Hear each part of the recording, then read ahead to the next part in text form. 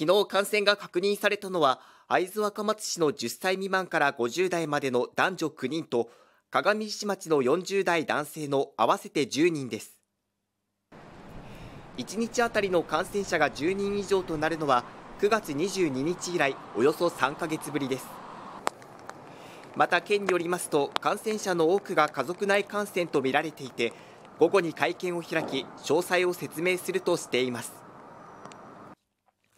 入院は10人で病床使用率は1.4%となっています。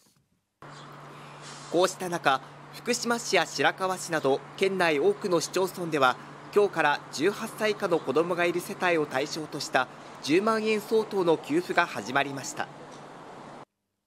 この10万円は政府の指針に基づき自治体ごとに給付されます。